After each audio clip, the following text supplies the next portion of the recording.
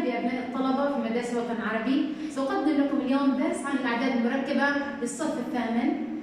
آه، نبدأ.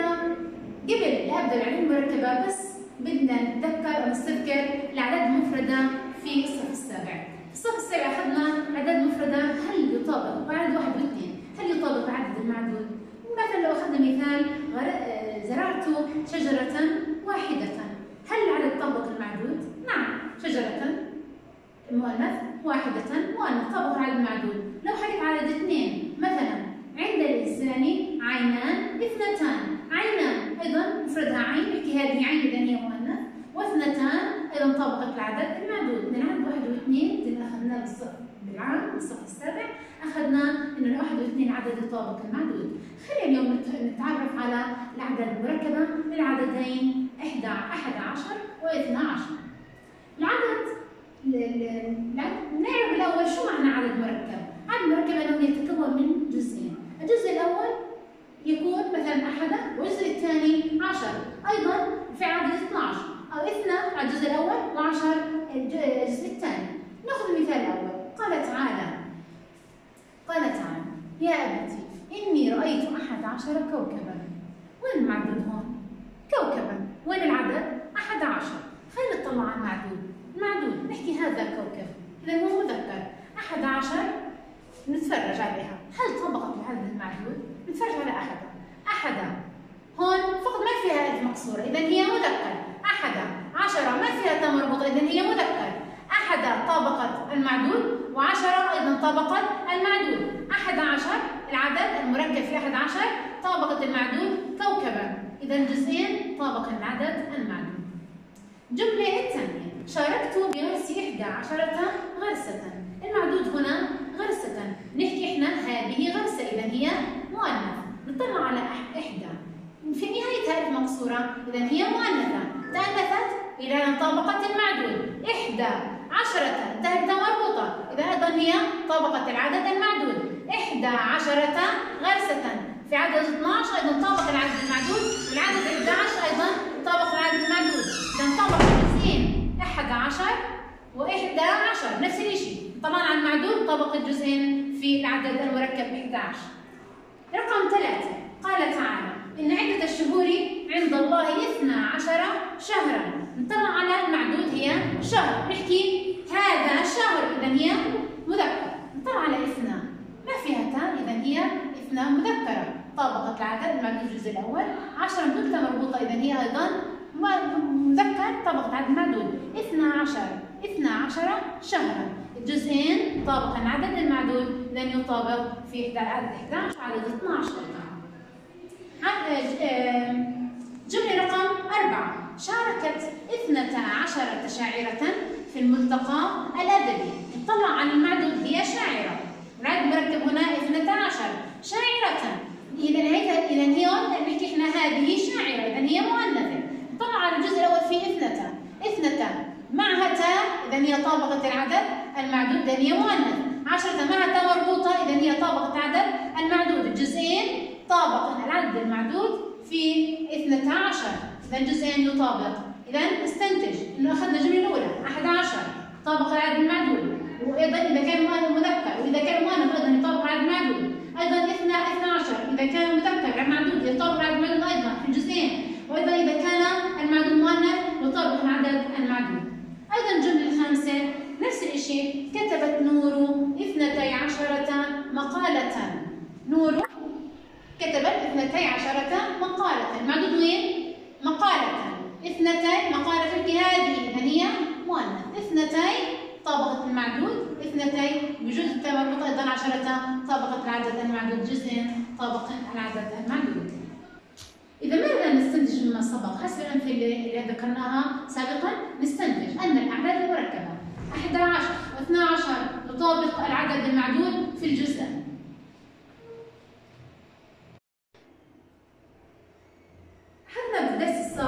انه العدد 11 و12 يطابق العدد المعدود. لكن إحنا ما تعرفنا على اعراب العدد المركب حسب في في الجملة. نشوف الجملة الاولى قال تعالى يا ابت إني رأيت أحد عشر كوكبا. نركزوا على الجمله هاي رايت أحد عشر كوكبا.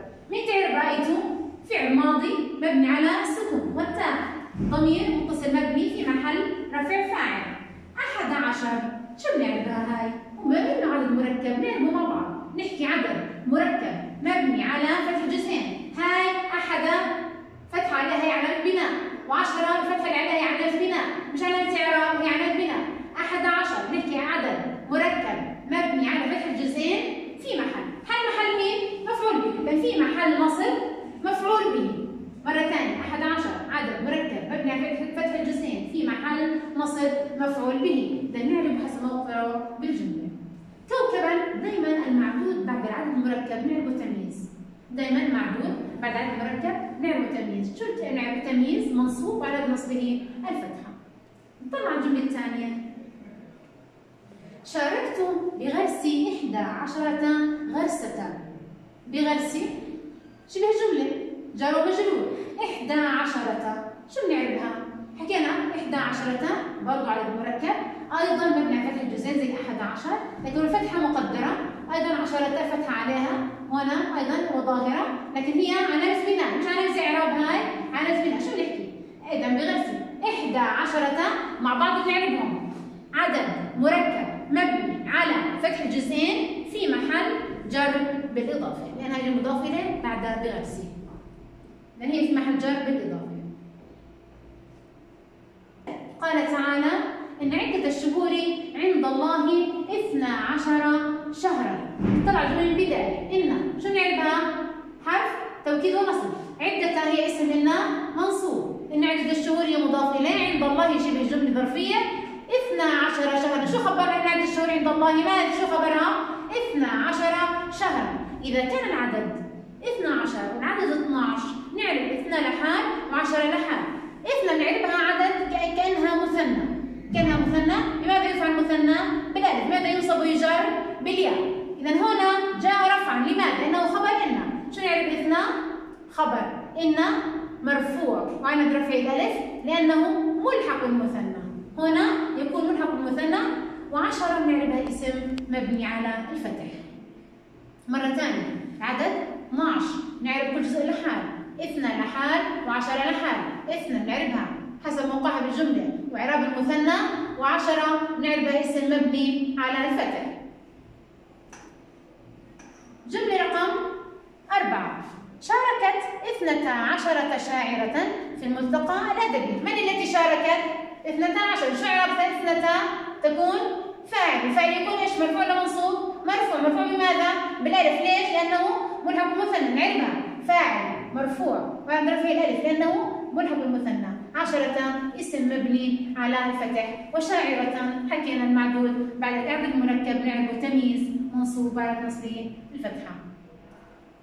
آخر جملة كتبت نور اثنتي عشرة مقالة. كتبت فعل ماضي نور هي الفاعل. اثنتي موقعها جاي مفعول به. حكينا اثنتي نعربها لحال وعشرة لحال. اثنتي مفعول به منصوب. على نصبه الياء لأنه ملحق بالمثنى. عشرة اسم مبني على الفتح مقالة تمييز منصوب بالفتحة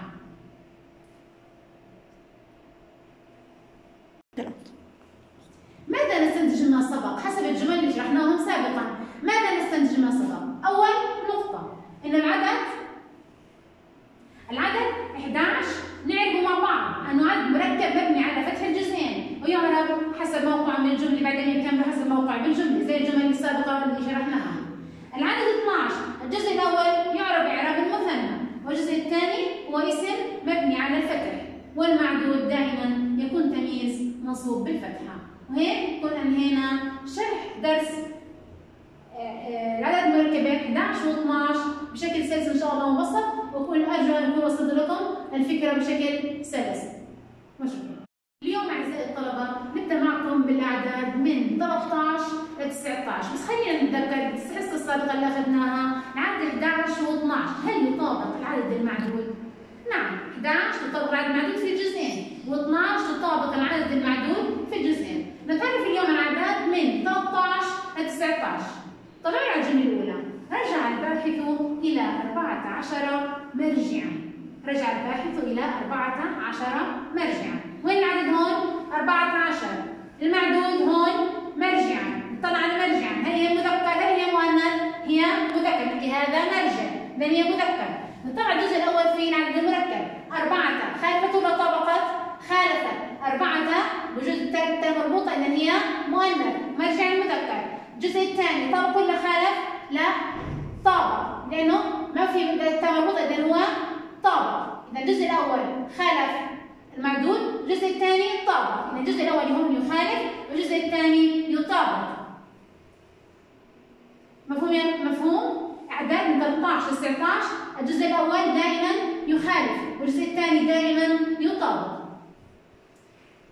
نجيب الجملة الثانية ناخذ كمان جمل، الجملة الثانية حللت خمسة عشرة مسألة حللت فعل وفاعل خمسة عشرة حلت محل مين؟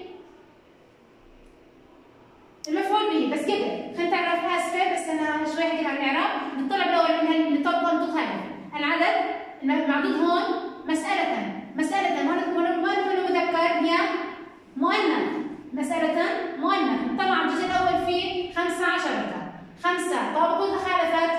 خالفت عشرة طابقة ولا خالفت؟ خالفت آه طابقت اسفه اذا الجزء الأول حكيت زي ما اتفقنا من 13 ل 19 الجزء الأول يخالف الجزء الثاني يطابق. أيضا نفس الجملة جملة ثلاث حفظت تسعة عشر بيتا من القصيدة. بيتا هذا بيت مذكر. الجزء الأول يخالف الجزء الثاني يطابق. من تسعة خالفت بيتا عشرة طابقت بيتا في التذكير والتأنيث يعني تسعة عشر تسعة عشر بيتا. الجزء الأول يخالف الجزء الثاني يطابق. أيضا نفس الجملة نفس الحال على الجملة الرابعة. اشتركت تسعة عشرة امرأة بتأسيس مكتبة ثقافية معدود امرأة هذه امرأة مؤنث. تسعة تخالف تسعة خالفت المعدود. عشرة طبقت المعدود. التسعة عشرة هون الجزء الأول يخالف الجزء الثاني يطابق المعدود. وحال حال من 13 16 دائما الجزء الأول يخالف يخالف والجزء الثاني يطابق شرحنا بالدرس السابق إن العدد من 13 ل 19 عدد يطابق المعدود أن يخالف. حكينا الجزء الأول اتفقنا الجزء الأول يخالف العدد المعدود والجزء الثاني يطابق. فقط من 13 ل 19 هذا هي قاعدة على 13 ل 19 هسا نشوف الإعراب عدد الأعداد المركبة من 13 ل 19 في الجمل. نرجع الجمله الأولى. رجع الباحث إلى 14 مرجعا إلى 14 مرجعا إلى حرف جر 14 حكينا نعرفها إعراب كامل عدد مركب مبني على فتح جزئين. دائما بنعرف 14 مع بعض. ما نعرف هي لحال وهي لحال؟ فقط. ما نعرف الجزء الأول لحال الجزء الثاني لحال؟ فقط في عدد 12 لكن هنا 14 نعرفها. عدد مركب مبني على فتح الجزئين في محل جر بحرف الجر لأنه جاء بعد حرف جر. في محل جر بحرف الجر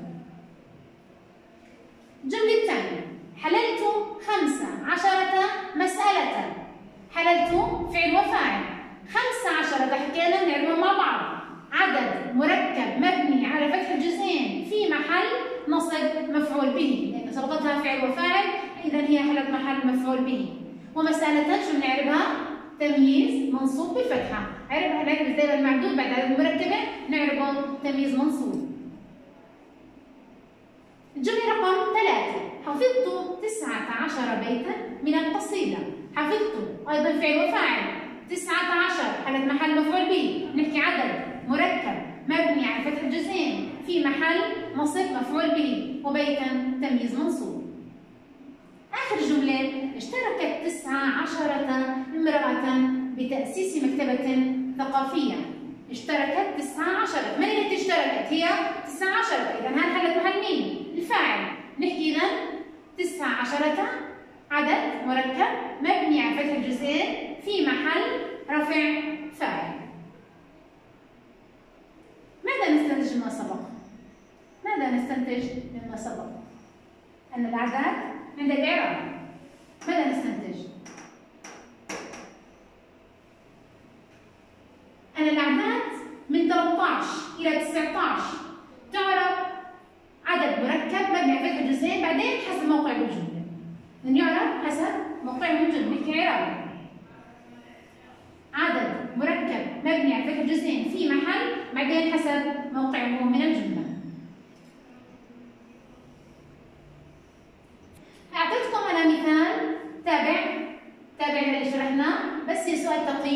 أقيم البنات أشوف كيف اذا بيعرفوا أو أقيم الطلبة كيف يعرفوا يعرفوا أو قراءتهم صح أو لا. لليلى اثنتا عشرة صديقة. حكينا شبه الجملة تكون بداية الجملة نعرفها هي مبتدا. اسف خبر مقدم. اثنتا شو تكون نعرف اثنتا. اثنتا مبتدا مؤخر مرفوع بالألف لأنه ملحق بالمثنى. وعشرة اسم مبني على الفتح. وصديقة هي تمييز منصوب بالفتحة. الجملة الثانية كرمت أربع عشرة معلمة. كرمت فعل وفاعل. أربع عشرة محل مفعول به. لأن عدد مركب مبني على فتح جزئين في محل نصب مفعول به سافرت إلى إحدى عشرة مدينة إلى حرف جر إحدى عشرة عدد مركب مبني على فتح جزئين في محل جر بحرف الجر هيك بنكون انهينا درس العدد مركبين من 11 إلى 19 إن شاء الله نكون قدمت لكم إياها بشكل مبسط وشكرا.